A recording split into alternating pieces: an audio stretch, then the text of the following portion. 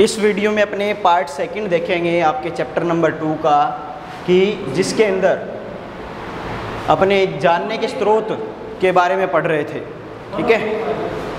और जानने के स्रोत का क्या है? हमने पढ़ा था कि उनके औजारों का अध्ययन करते थे। कौन करते थे? पूरा तत्वविद। पूरा तत्वविद क्या करते थे? उनके औजारों के आधार पर कि वो किस प्रकार के औज़ार यू, यूज़ कर रहे हैं क्योंकि पूरा पाषाण युग, पूरा पाषाण युग, या मध्य पाषाण, या नव पाषाण युग, उसके बाद धातु युग।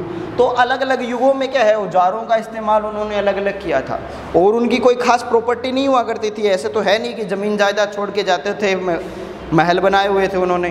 वो सिर्फ़ क्या है, हथियारों का इस्तेमाल किया करते थे हथियार क्या है अलग अलग चीज़ों के लिए काम आते थे, फल वगैरह काटने के लिए, मांस काटने के लिए, जानवरों की जो चमड़ी है, उसको उतारने के लिए, या फिर पेड़ की जो छाल है, उसको उतारने के लिए, ये अलग अलग औजारों का इस्तेमाल किया करते थे। उन्हीं औजारों के आधार पर क्या है जो उनके बारे में पता चलता है कि वो किस प्रकार के थे, उनके मानसिक विकास किस प्रकार का हुआ था, उनका मानसिक विकास जो है कि दिमागी तौर पर कितने बुद्धिमान हो चुके थे, किस किस प्रकार के या कितने टेक्निक के औज़ार इस्तेमाल किया करते थे, उसके आधार पर वो पुरातत्वविद क्या है, उस प्रारंभिक मानव की, आरंभिक मानव की कर, कार्यों के बारे में बताते हैं, उनके जीवन के बारे में पता लगा पाते हैं। नेक्स्ट पॉइंट जो आता है अपना, वो आता है निवास स्थान। नेक्स्ट पॉइंट क्या है? निवास स्थान। तो नेक्स्ट पॉइंट के अंदर देखिए, निवास स्थान जो है,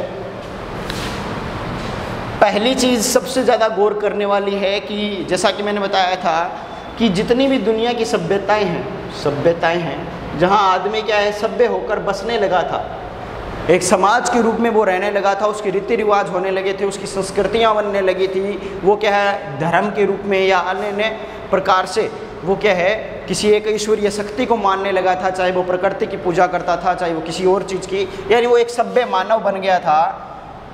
तब भी वो कहाँ रहते थे? सारी सभ्यताएँ कहाँ पर पाई जाती हैं? नदियों के किनारे के पास पाई जाती हैं। सारी की सारी सभ्यताएँ कहाँ मिलेगी? नदियों के पास मिलेगी। जो है, जैसे सिंधु घाटी सभ्यता है। सिंधु घाटी सभ्यता है, वो है सिंधु नदी के पास, ठीक है? या नील नदी घाटी सभ्यता है, जो मिस्र की सभ्यता है, ठीक है? वो नील नदी के पास है, इसी सिंधु के साथ सिंधु सरस्वती नदी वाली है, ठीक है? तो चाहे रोम की है, यूनान की सभ्यता है, ये सारी सभ्यताएँ कहाँ हैं? किसी न किसी नदी के पास है। किसी ने किसी नदी का इस्तेमाल वहाँ ज़रूर है, वहाँ नदी आस पास से गुजर रही है। जैसे कि मैंने चौथा कारण बताया था कि इसमें कि उनका जीवन वो मकड़ क्यों था अभी? पानी की तलाश में चौथा कारण था उनका कि पानी की तलाश में वो क्या है, एक स्थान से दूसरे स्थान पर जाते थे। तो उसी का प्रकार से उनके जीवन में जो रहने का स्थान होता था, यानी वो रहते कहाँ थे? हालाँकि उनका जीवन शुरुआत में क्या था? वो घुमक्कड़ था। बाद में जब उत्पादन करने लगे भोजन का, तब वो कहाँ रहते थे? दोनों जो रहने का स्थान हुआ करता था, यानी रहने के लिए वो जगह ढूंढते थे, वो ऐसी हुआ करती थी, जो किसके पास हो? नदी, झील, तालाब। इस प्रकार के स्थान वो ढूंढा करते थे, जहाँ पर क्या हो, नदी हो, झील हो, तालाब हो, इस प्रकार के स्थान वो क्या है, रहने के लिए ढूंढते थे। इसके कारण है, पहला कारण खुद की पानी की पूर्ति हो सके। यानी जो पानी की आवश्यकता उनको है पीने के लिए, चाहे वो किसी प्रकार का यूज़ करते थे, वो पानी की पूर्ति उनकी स्वयं की हो सके।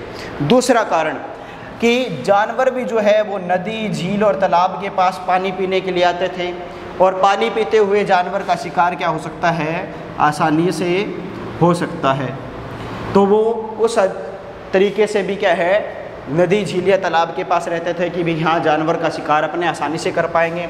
तीसरा कारण, नदी झील तालाब के पास वनस्पति अच्छी मिलती है। फल या फूल, जो भी उनके खाने पीने के लिए कंद मूल का इस्तेमाल किया करते थे, वो वो सारी चीज़ें नदी झीलों के तालाब के पास क्या अपने आप उत्पादित की हुई मिलती थी, उनको क्या है, प्रयास नहीं करना पड़ता था और ज़्यादा अधिक मात्रा में मिला करती थी पानी के स्रोतों के पास।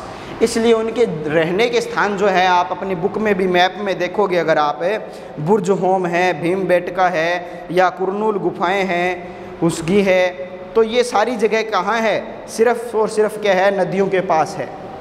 जैसे गंगा नदी के पास चिरांद है, या ये जो बुर्ज डोम है, ये सिंधु नदी, या उसकी सहायक नदियों के पास है, भीम बेटका है, नर्मदा नदी के पास, ताप्ती नदी के पास, ये गोदावरी नदी के पास जो क्षेत्र है, उन्हीं क्षेत्रों के पास क्या है वो रहा करते थे। इसके पीछे कारण मैंने बताए, खुद की जल की आपूर्ति के लिए शिकार आसानी से मिल सकता था और साथ ही साथ क्या हो सकता है? तीसरा कारण है कि उनको शिकार के साथ साथ जो अन्य खाने पीने की वस्तुएँ हैं, फल है कंदमूल है या और चीज़ें जो खाने की उनको मिल सकती है वनस्पति के द्वारा, वो सारी की सारी क्या है, वहाँ उनको प्राप्त हो सकती थी नदी के स्रोतों के पास। तो अगर आपसे प्रश्न पूछा जाए कि उनके निवास का स्थान कौन सा होता था तो सीधा सा उत्तर होगा, जल के स्रोत। जल के स्रोत के आसपास वो क्या है, रहना पसंद करते थे, ताकि उनको आसानी से। जल के स्रोत का मतलब क्या होगा? नदी, तालाब, झील, ताकि उनको क्या हो सके? आसानी से सारी जो तीन कारण बताए थे मैंने, वो पूरे हो सके। ठीक है? नेक्स्ट अपना पॉइंट आता है, आग की खोज। सबसे बड़ी उपलब्धि आदि मानव की, सबसे बड़ी खोज उस समय की जो थी, वो थी आग की खोज। आग की खोज करने के बाद तो जैसे मनुष्य का जीवन पूरा ही बदल गया। उसके जीवन जीने का, उसके खाना खाने का, उसके रहन सहन का सारा जो तरीका था, वो आग की खोज के बाद बदलता गया। लगातार उसने तरक्की करना शुरू कर दिया। अब जैसे कि अपने बात की थी कि वो रहने का स्थान ढूंढते थे नदियों के पास तो कृष्णा नदी के पास क्या है कुरनूल की गुफाएँ मिलती हैं। कहाँ? कृष्णा नदी जो है, भारत के अंदर, दक्षिण भारत में, वहाँ कुरुनूल की गुफाएँ मिलती हैं। कुरुनूल। कुरुनूल की जो गुफाएँ मिलती हैं, वहाँ पर क्या है, सबसे पहले राख के साक्ष्य मिले हैं। राख के साक्ष्य मिले हैं और राख किसकी होती है भाई? कि अगर कोई चीज़ जलाई जाए, कोई चीज़ जली हो, ठीक है? तो जलने के बाद क्या होता है, उस चीज़ का क्या बचता है, अवशेष बचता है, किसके रूप में बचता है? राख के रूप में बचता है। तो ऐसा माना जाता है कि प्रारंभ में जो इन गुफाओं में आदि मानव रहता था, वो क्या करता था? उसने आग जलाना सीखा था। तो उसी के अवशेष के राख के रूप में आज हमारे पूरा तत्वविदों को, इतिहासकारों को मिलते हैं। ठीक है? तो ये आग की खोज होने के पश्चात उनके जीवन में बदलाव कैसे आया वो देखिए। पहला बदलाव पहले वो भोजन संग्रह करते थे सिर्फ़ वनस्पतीय चीज़ों का, क्योंकि मांस क्या है, एक समय के बाद बदबू आने लग जाती है उसमें, वो खाने योग्य नहीं रहता है। अब बदबूदार चीज़, भले ही वो क्या है, आदि मानव था, जानवरों की तरह जीवन था, लेकिन जानवर भी तो बदबूदार चीज़ नहीं खाते, ठीक है? तो मांस का संग्रह कर नहीं सकते थे वो। उनको सिर्फ़ क्या है, वनस्पतीय चीज़ों पर डिपेंडेड रहना पड़ता था, आश्रित रहना पड़ता था। लेकिन जब से उन्होंने आग की खोज कर ली तो उसके बाद क्या हुआ? अब वो क्या है? मांस को भुन कर खाने लगे थे। आग की सहायता से मांस को भुन कर खाने लगे थे। अब भुना हुआ मांस होता था तो खाने में भी अच्छा लगता था उनको। दूसरा, क्या है? उसको एक समय से ज़्यादा समय के लिए वो स्टोर करके रख सकते थे। बाद में उसका खाने के लिए उपयोग कर सकते थे। ठीक है? तो आग का उनको बहुत ज़्यादा फ़ायदा हुआ। दूसरा फ़ायदा क्या हो गया? यानी पहला तो क्या है? मांस या भोजन को पका कर खाना। मांस या भोजन को पका कर खा सकते थे। पका कर खा सकते थे और संग्रह करके रख सकते थे। पका कर संग्रह खा सकना और संग्रह करके रख सकते थे। रख सकते थे। दो फ़ायदे हो गए। दूसरा फा, तीसरा फ़ायदा क्या हो जाता है? रात को उन्होंने क्या है जब उनको रोशनी की आवश्यकता होती थी उजाले की आवश्यकता होती थी प्रकाश की आवश्यकता होती थी तो वो क्या कर सकते थे? आग का इस्तेमाल कर सकते थे उसके लिए। तीसरा कारण आग से देखा होगा आपने कार्टून्स वगैरह में कि जो जानवर हैं जंगली जो जानवर हैं, शेर है, वगैरह, ख़तरनाक जो जानवर थे, वो क्या कर क्या होते थे? आग की सहायता से दूर रहते थे। यानी उन जंगली जानवरों को डराने के लिए, उनको अपने से दूर रखने के लिए, उनसे अपना बचाव करने के लिए वो क्या है? आग का इस्तेमाल करते थे। यानी आग आने के बाद मानव क्या हो गया? अब एक पावरफुल हो गया। उसके पास एक पावर आ गई, जैसे कि वो क्या है? अब अपना जीवन सुख तरीके से क्या है, निर्वाह कर सकता है, क्योंकि उसके पास एक प्रकाश का साधन हो गया था, संग्रह करके रख सकता था, पका हुआ भोजन जो होता था वो ख़राब नहीं करता था, कच्चा मांस खाने से उसके क्या बहुत सारी दिक्कतें हो सकती थी, पचने में दिक्कत आता था, लेकिन पका हुआ क्या है, पेट को भी ख़राब नहीं करता, पका हुआ स्वाद भी होता था, ज़्यादा समय तक संग्रह किया जा सकता था, जानवरों को दूर रख सकते थे। तो ये क्या है, आग के बहुत ज़्यादा फ़ायदे हो गए। थर्ड चीज़ है, नाम और तिथियाँ। नाम और तिथियाँ। उस समय के काल का निर्धारण किस प्रकार से किया जाता है? आदि मानव के या आरंभिक मानव के, वो देखो। इसको अपने बांटते हैं तीन भागों में। पूरा पाषाण युग, पूरा पाषाण युग। ये तो हो गया पहला। दूसरा हो गया मध्य पाषाण युग, मध्य पाषाण युग। और तीसरा हो गया नव पाषाण युग। नव पाषाण युग। अब देखो, ये काल माना जाता है जब शुरुआत में मान लो 20 लाख साल पहले से लेकर 20 लाख साल पहले से लेकर अपने शुरू करते हैं और आ जाते हैं बारह हज़ार साल पहले। कब आ जाते हैं? बारह हज़ार साल पहले। आज से बारह हज़ार साल पहले का समय। वो क्या था? पूरा पाषाण युग था। आज क्या चल रहा है? 2020 तो आज से बारह हज़ार साल पहले का जुग युग है। वो पूरा तत्वविद क्या मानते थे? उसको मानते थे पूरा पाषाण युग। उस समय क्या है? सिर्फ़ और सिर्फ़ मात्र का इस्तेमाल किया जाता था, मानव के द्वारा, पत्थर का ही इस्तेमाल किया जाता था। ठीक है? उसके लिए क्या है? जो औज़ार बनाए जाते थे उसके द्वारा, वो सारे के सारे क्या है? पत्थर के द्वारा थे। ठीक है? तो इस पाषाण काल को क्या है? तीन भागों में बांटा गया। दूसरा आ जाता है मध्य पाषाण युग। ठीक है? ये तकरीबन क्या है? दस हज़ार साल पूर्व आज से। और इसके थोड़े समय बाद, यानी मध्य पाषाण के थोड़े समय ही बाद नव पाषाण युग आ जाता है। क्योंकि मध्य पाषाण युग क्या है? सबसे छोटा युग है। सबसे छोटा युग है पाषाण युग का।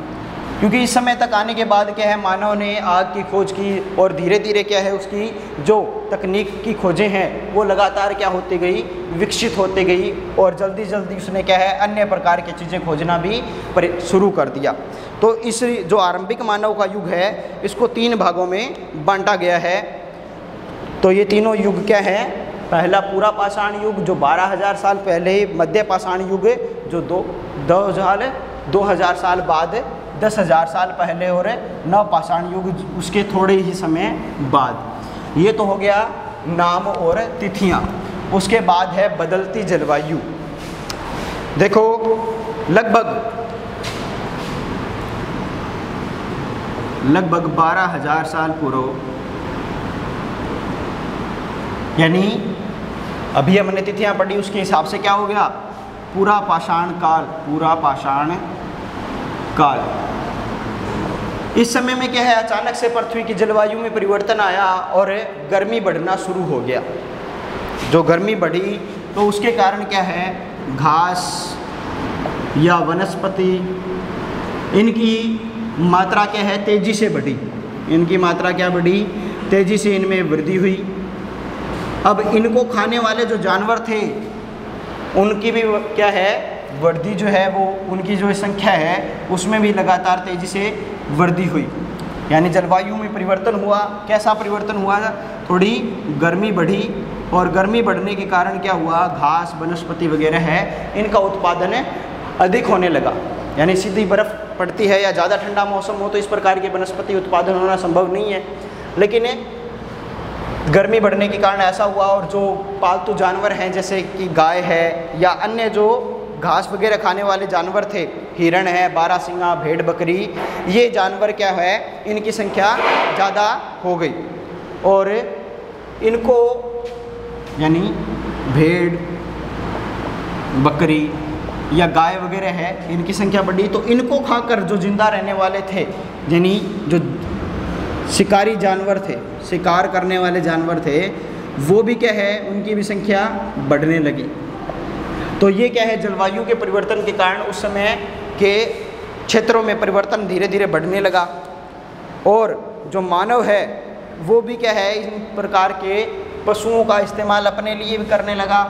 किस प्रकार से मांस के रूप में भी उनका इस्तेमाल किया जाता था या फिर अन्य प्रकार से भी उनका इस्तेमाल वो क्या है, करने लगा था। यानी एक तरीके से दूसरे जानवर का शिकार करने के लिए भी वो क्या है, वो दूसरे जानवर का मांस का टुकड़ा वहाँ छोड़ते थे। ठीक है, मछली को पकड़ने के लिए या बड़े जानवर का शिकार करने के लिए वो इस प्रकार के कार्य करने लगे, जिससे उनका भी विकास क्या है, तेज़ी से हो सका। और लास्ट पॉइंट आता है अपना खेती और पशुपालन। अब क्या है मानव लगातार तेज़ी से बदलता जा रहा था? और अब उसको क्या है, ये घुमक्कड़ जीवन जो है वो पसंद नहीं रहा कि बार बार एक स्थान से दूसरे स्थान पर जाकर घूमें, वहाँ भोजन ढूंढें, उसके बाद वहाँ भोजन समाप्त हो जाए तो हमें दूसरे स्थान पर जाएँ। तो वो इतनी मेहनत बहुत ज़्यादा हो जाती थी शिकार को पकड़ना, उसके लिए इंतज़ार करना, ढूंढना तो ये बहुत ज़्यादा मुश्किल काम था उसके लिए।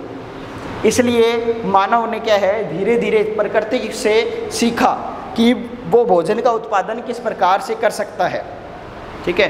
तो मान लीजिए किसी ने क्या है, सीधे कोई चीज़ें खाई थी और उसके अंश क्या है, ज़मीन पर गिर गए। वो अंश क्या है, प्रफुल्लित हुए और उसके बाद उससे क्या है, दोबारा से पौधा तैयार हुआ। तो इस प्रकार के जो विकास क्रम हैं, वो आदि मानव ने देखा तो उसके समझ में आया कि इस प्रकार से क्या है, हम भी क्या है, किसी चीज़ का उत्पादन कर सकते हैं, अपने भी क्या है, फ़सलें उगा सकते हैं। जैसे कि मैंने फ़र्स्ट चैप्टर में पढ़ाया था आपको कि जो उत्तर भारत का क्षेत्र है, सिंधु, सरस्वती नदी का जो क्षेत्र था, वहाँ पर क्या किया था? सबसे पहले गेहूँ और जौ की कृषि की गई थी। गेहूँ और जौ की कृषि की गई थी उत्तर भारत के अंतर्गत। तो वहाँ के मानव ने इस प्रकार की खेती करना सीखा। दूसरा सतपुरा विद्यांचल की जो पर्वतमालाएँ हैं, नर्मदा नदी है, वहाँ पर क्या किया था? वहाँ पर सबसे पहले चावल का उत्पादन किया था, भारत की सभ्यता के अनुसार। तो ये क्या है? अलग अलग स्थानों पर मानव ने क्या है? अब भोजन का उत्पादन करना सीखा। और वो अनाज इकट्ठा कर कर रखने लगे थे। उनको अनाज के द्वारा जो चीज़ें बनानी थी, वो भी बनाना, वो धीरे धीरे सीखे थे। अनाज को भून कर खाना सीखा, ठीक है? तो आग का आविष्कार तो पहले कर लिया था।